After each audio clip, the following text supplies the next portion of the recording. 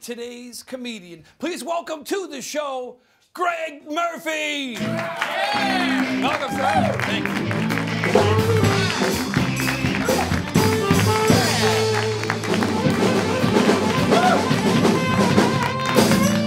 Yeah, how we doing? Good. Good. Good to be. I, I had uh, I had one of these days where you just run into dumb people all day long. You ever had one of those? Start off my day, I run into someone just dumb as rocks. I go into a coffee store. I have to get coffee for five different people. Walk up to the counter. Go, can I have uh, two medium regular? Can I have a vanilla chai, a diet Pepsi, and a cream no sugar? The girl goes, is that going to be for here or to go? Screw it. I'll drink all five right in front of you. Want to have some fun? Comes to 17.95. I give her 20. She goes, do you have anything smaller? No, I just spent my last $18 bill down the street. I don't know that could have happened if only I had known. I happen to be at a Dunkin' Donuts. We all love those places. Everyone's been in one. Love Dunkin' Donuts. I just can't stand that slogan. They jam it down your throat. America runs on Dunkin'. Every 30 seconds, America runs on Dunkin'. How about we change that slogan to something that makes sense for the company, like Dunkin' Donuts supplying your car with napkins for over 60 years? there is not a car in New England that doesn't have 3,000 Dunkin' Donuts napkins center console. Every time you go in, you grab 3,000 more. What are you to run into an oil spill on the way to work one day? Show up in a flash flood and be like, I just went to Dunkies. We're good to go. I'll mop that up in a second. It's just a terrible slogan. Another one. Another one killing me. Domino's Pizza. You guys go to Domino's Pizza. I'm sure you can do this. You can go online now with Domino's Pizza. Make it very simple. You go online, you fill out your order, then you hit send. This is how crazy it's gotten. They send you back a tracking number so you can track your pizza. This is how fat we've gotten as a country. I need to know that my pizza's out of the baking process and safely in the vehicle on its way to my house. And I know there's people in front of a computer like, I don't know why it stopped at 5th and Main. Maybe the lights broke or there was an accident. Oh, it's moving now. Here comes our pizza. Here we go. Here we go. Getting out of hand with the food, I think. We're eating like crazy, getting a little fat. I don't know if you saw this in the news a couple weeks ago. There was a story about how next year we may not have a lot of bacon. Not no bacon, not a lot of bacon. There are countries worried about food next year. We're worried about not a lot of bacon. I can't wait till my grandfather telling my grandkids about 2013. You don't know what it was like. We didn't have a lot of bacon. oh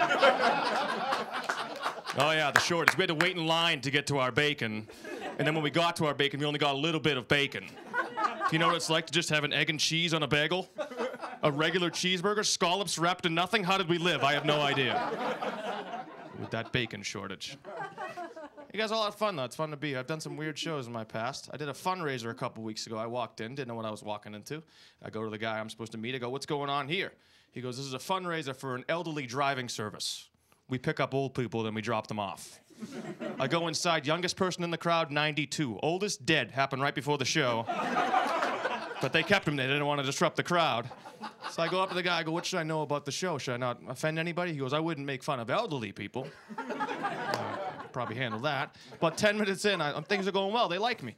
So I started getting a little loose. I thought I could sneak one in. I go, you know what? I got into an accident with an elderly driver. Uh, this one might be my fault. This guy was in an 86 Cadillac. I was in the frozen food section. they, uh, they turned on me real quick. Uh, a tennis ball whizzed by my head, which like I, was, I think was unscrewed from a walker and thrown at my way. It's just one of those awkward feelings. I deal well with awkward feelings. Some of the most awkward things in life happen every day. You ever been in the bathroom stall? Somebody knocks, you have no idea what to say. Sometimes you make noises, you tap your feet just so they know you're there, and they and you feel awkward. I try to make them feel awkward. Every time I'm in the bathroom stall, someone knocks, I just look down and go, "Come in."